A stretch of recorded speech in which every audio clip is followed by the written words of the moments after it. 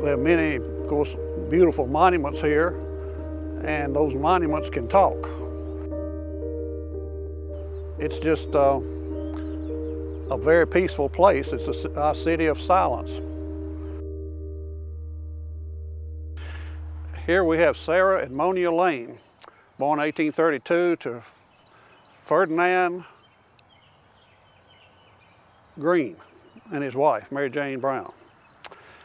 At 16, she married William R. Lane, and he had just come back from the Mexican War and was terribly physically damaged and never got over it.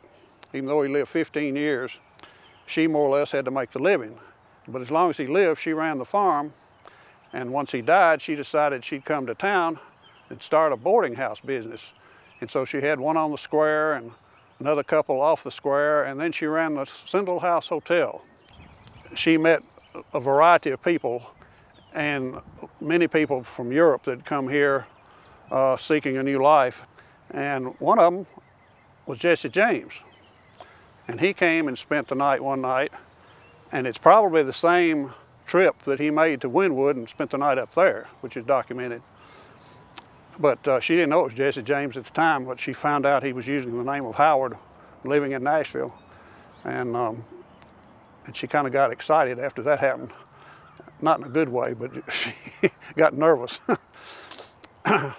but she didn't do anything. She was a, a, good advisor to people, and people went to her for counsel constantly.